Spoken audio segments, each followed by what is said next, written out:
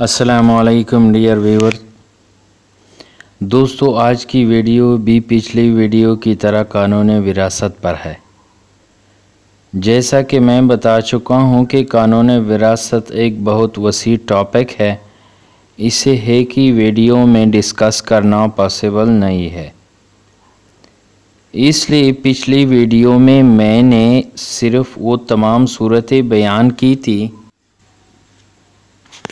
जिनमें मैत के वालिद का कहाँ कितना हिस्सा बनता है?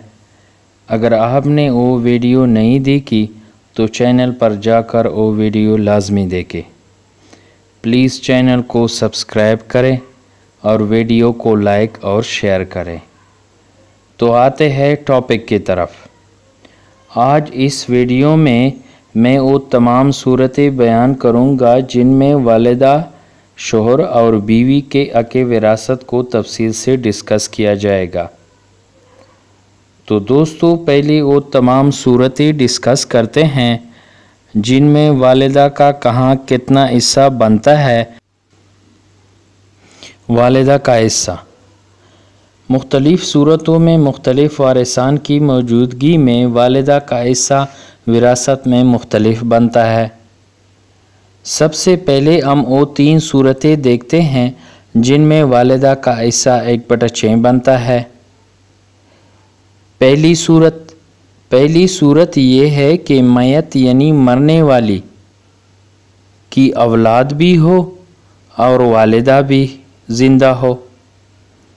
मैत की औलाद चाहे बेटा हो, बेटी हो, पोता या पोती हो, इनकी मौजूदगी में मरने वाले की माँ वालदा को जायदाद का एक बट छः हिस्सा मिलेगा, जबकि बकाया पाँच बट छः जायदाद मैत के तमाम औलाद में तकसीम की जाएगी।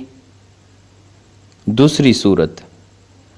इस सूरत में मैत का एक भाई और दो बहनें मौजूद हों, या बहनें अगर ना हों तो भाई एक से ज़्यादा हों। और वालिदा भी ज़िंदा हो। तब वालिदा को एक बटा छः हिस्सा मिलेगा और बाकी पाँच बटा छः हिस्सा जायदाद मैत की बाई बहनों को मिलेगी। तीसरी सूरत। ये सूरत कुछ यूँ है कि मैत यानी मरने वाली औरत हो। इसका खावन मौजूद हो और मैत के माँ बाप भी मौजूद हों।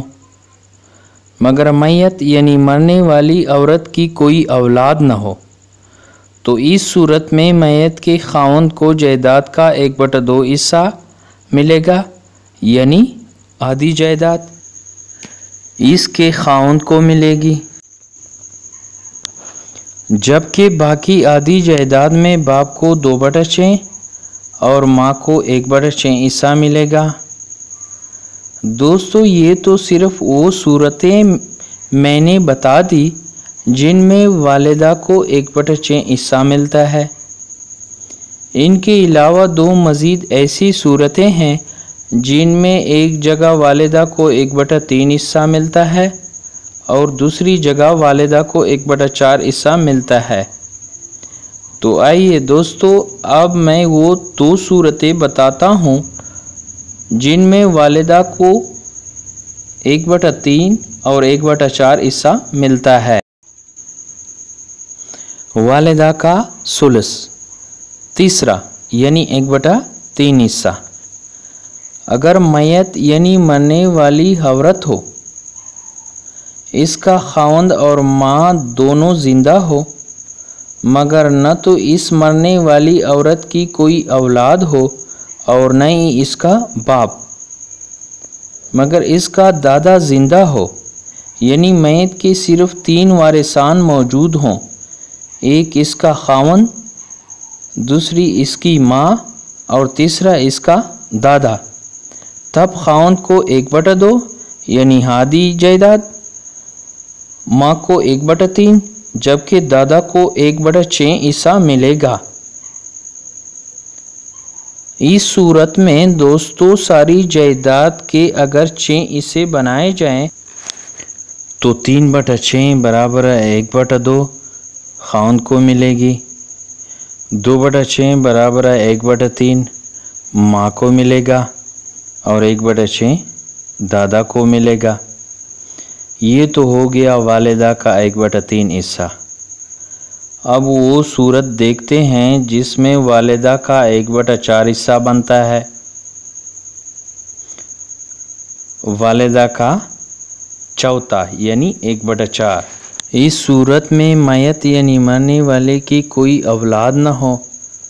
सिर्फ़ मैत की बीवी और माँ बाप ज़िंदा हो। तो इस सूरत में बीवी को एक बटा चार हिस्सा मिलेगा? बाप को आदि यानी दो बटा चार, जबकि एक बटा चार वालिदा को मिलेगा। दोस्तों, वालदा का जहान जिस सूरत में जितना हिस्सा बनता है, वो तो मैंने पूरी डिटेल से बता दिया है। अब आते हैं शोर के हिस्से की तरफ़। कि बीवी जब फौत होती हैं तो इसकी जायदाद में से शोहर को किस सूरत में कितना हिस्सा मिलता है? दोस्तों, बीवी के जायदाद में शोहर को दो मुख्तलिफ़ सूरतों में हिस्सा मिलता है। पहली सूरत में शोहर का हिस्सा एक बटा दो। पहली सूरत कुछ इस तरह है कि मैत यानी मरने वाली औरत की अगर कोई भी औलाद ना हो तो इस सूरत में इसकी जायदाद का आधा यानी एक बटा दो हिस्सा इसके शोर को मिलेगा। जबकि बकाया आदि जायदाद मैत की दूसरे वारिसान वालदेन और बहन भाइयों वगैरह में तकसीम होगी। दूसरी सूरत। दूसरी सूरत में शोर का हिस्सा एक बटा चार बनता है। इस सूरत में मैत यानी मरने वाली औरत की अगर औलाद हो तो शोहर को एक बटा चार हिस्सा मिलेगा। बीवी का शोहर की जायदाद में हिस्सा। दोस्तों, बीवी को भी शोहर की जायदाद में दो मुख्तलिफ़ सूरतों में मुख्तलिफ़ हिस्सा मिलता है। एक सूरत में बीवी को शोहर की जायदाद में एक बटा चार हिस्सा मिलता है, जबकि दूसरी सूरत में इसे एक बटा आठ हिस्सा मिलता है। बीवी का हिस्सा एक बटा चार। पहली सूरत में मैत की अगर कोई औलाद ना हो तो इसकी बीवी को इसकी जायदाद का एक बटा चार हिस्सा मिलेगा। दूसरी सूरत, अगर मैत की औलाद हो, तब बीवी को एक बटा आठ हिस्सा मिलेगा। औलाद चाहे इस बीवी से हो या दूसरी बीवी से।